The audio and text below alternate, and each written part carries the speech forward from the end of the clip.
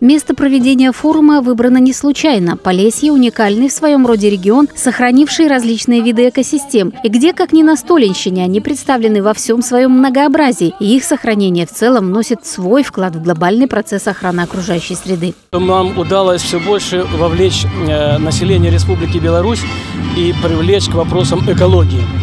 И я уверен, что только таким образом мы можем решить абсолютно все вопросы. Прежде всего, конечно же, охрана окружающей среды, атмосферного воздуха, значит, э, охрана природы, э, бережное отношение к э, ресурсам, значит, энергосбережение, новые технологии, зеленые технологии.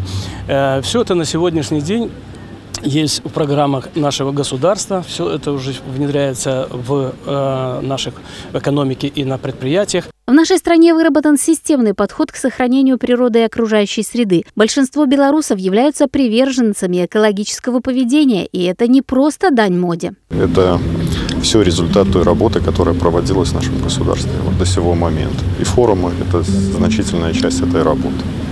Я думаю, что у нас э, ждет еще лучшее будущее в этом, в этом плане потому что все свои обязательства, прежде всего мы же не для международного сообщества это все делаем, а для себя, для наших, для наших потомков, потомков, э, для того, чтобы они жили в гармоничной среде, э, увидели э, то биоразнообразие, которое было и есть на нашей территории. Те, кто сейчас вплотную занимается вопросами экологии, активная молодежь, представители науки, общественности и бизнес-сообщества, руководители профильных министерств и ведомств вместе с председателем Брестского облсполкома приняли участие в церемонии открытия 17-го Республиканского экологического форума. Те задачи сегодня, которые мы будем обсуждать на экологическом форуме, позволят нам и в дальнейшем сохранить нашу родную Беларусь в том виде первозданном, которое мы очень долгие годы бережно под эгидой нашего государства охраняем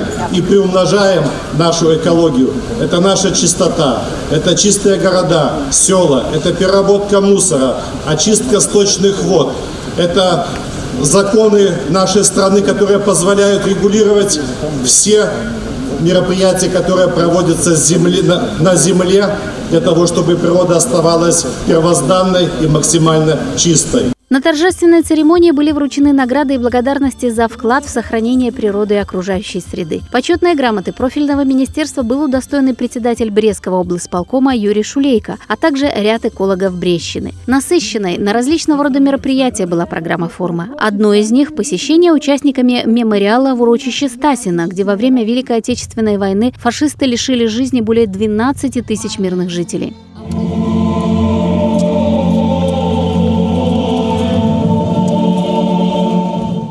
Здесь прошел траурный митинг, и его участники почтили минутой молчания память невинных жертв фашизма и возложили цветы к подножию монументов. Далее в программе посещение парка Маньковичи, где состоялось торжественное мероприятие по закладке аллеи. Отныне это уникальное место украсит 70 дубов и лип. Безусловно, особое место на форуме заняли встречи специалистов на круглых столах и секциях, где не только презентовали достигнутые результаты в природоохранной отрасли, но и определяли новые перспективы ее развития. Под Подводя итог, министр природных ресурсов и охраны окружающей среды Республики Беларусь Андрей Худык отметил, что озвученные в ходе форума интересные идеи и предложения лягут в основу конкретных мероприятий по решению экологических проблем, что будет способствовать дальнейшему устойчивому развитию нашей страны.